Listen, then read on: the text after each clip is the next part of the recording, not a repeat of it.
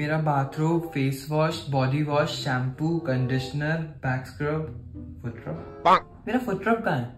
मम्मा? हाँ? मेरा फुटरब कहाँ है? वही देख वही होगा। अरे मिल नहीं रहा मैं नहाऊ कैसे? ज़मीन पे तो पैर रखती नहीं है एक दिन नहीं साफ़ करेगी तो क्या हो गया? नहा ले।